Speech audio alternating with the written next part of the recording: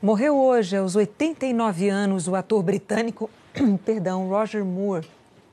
Moore ficou conhecido mundialmente pelo papel do agente secreto James Bond no cinema. Good afternoon. Can I help you? Yes, my name is Bond.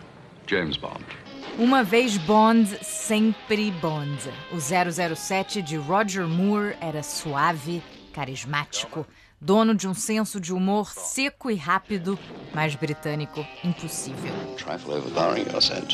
Moore largou a escola aos 15 anos para se dedicar ao cinema. Participou de várias séries, como O Santo. Simon Templar. Até que recebeu a missão de substituir Sean Connery como o espião tão implacável quanto sedutor. Difícil interpretar o agente secreto mais famoso do mundo depois de um dos atores mais famosos do mundo.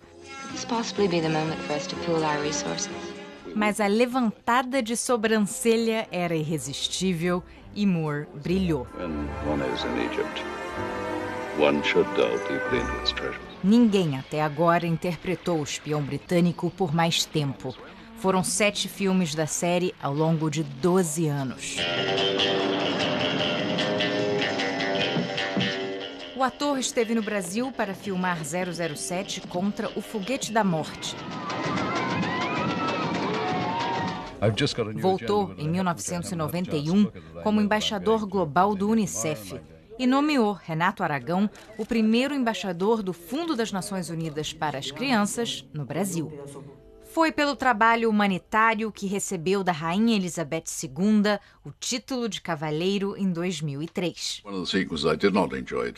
Ao contrário do personagem mais famoso, Roger Moore criticava as armas e a violência, mas disse que não tinha problemas de ficar para sempre associado a James Bond.